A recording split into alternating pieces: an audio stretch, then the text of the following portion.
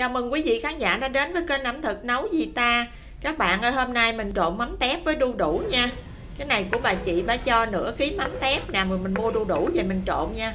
Cái món này thì ăn cơm cũng ngon mà ăn bún cũng ngon. Ăn bún với rau sống, bánh tráng, cuốn, chấm cũng rất là ngon nha. Thì các bạn theo dõi mình làm nha.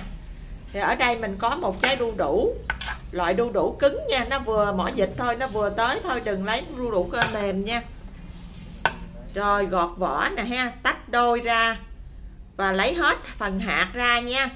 Lấy hết phần hạt ra rồi mình sắc. Ở đây là đu đủ này thì mình sẽ sắc nha. Cắt khúc ra thế này rồi mình sắc bằng dao chứ không dùng bằng bào bào. Thì mình ăn nó sẽ giòn hơn nha. Mình sắc như thế này đây, mình sẽ sắc từng miếng từng miếng mỏng ra như thế này.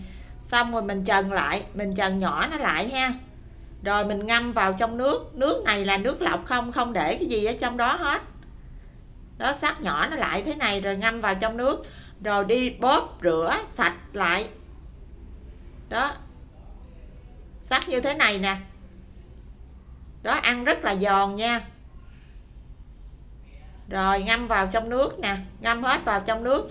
Rồi bóp rửa sạch lại ba bốn nước nha. Cho thiệt là sạch mũ. Rồi để cho ráo nước xong ráo nước rồi thì mình để trở vào trong cái thố này.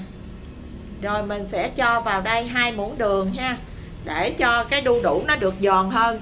Thì mình cho vào đây hai muỗng đường, và để cho cái cọng đu đủ nó được thơm hơn thì mình sẽ cho vào đây khoảng nửa vát nước mắm. Rồi mình ướp khoảng 45 phút ha, ướp đến khi nào thấy nước nó ra nước rồi thì mình vắt khô. Đó, rồi bây giờ đi chuẩn bị ớt nè, ghiền nè và tỏi mình sẽ băm nhỏ tỏi và ớt và ghiền sắc sợi ra ha. Thì bây giờ sau 45 phút là nó ra nước thế này. Rồi mình vắt thật là khô nước luôn nha thì khô luôn nha.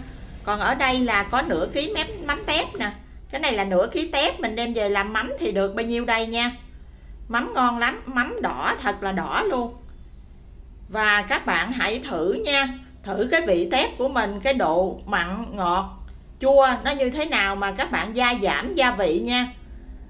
Cái mắm này của mình á, thì cái độ mặn nó vừa. Nhưng mà cái độ ngọt với độ chua thì cái chua thì nó hơi chua. Cho nên mình đem gia vị theo cái cái vị của mắm nha. Rồi bây giờ mình cho tỏi nè ớt nè và ớt nguyên trái vào. Rồi ghiền sắc sợi cho vào luôn. Trộn lên. Rất là hấp dẫn thơm bát ngát luôn rồi mình sẽ cho vào đây thêm nửa muỗng đường và một xíu siêu bột ngọt thôi nha. Một ít bột ngọt thôi cho nó đầm cái vị lại thôi. Đó. Rất là ngon. Bây giờ mình sẽ trộn xong, mình sẽ cho ngược trở lại vào trong cái hũ nha. Rồi các bạn để đây khoảng, nếu mà các bạn muốn ăn liền thì sau khoảng chừng 3 tiếng đồng hồ là các bạn ăn được rồi đó. Nhớ thử cái nước nha, thử cái nước rồi các bạn gia giảm theo cái cái cái khẩu vị của gia đình mình nha và theo cái vị của cái mắm á, rất là ngon luôn. Cái này ăn hết nồi cơm luôn nha.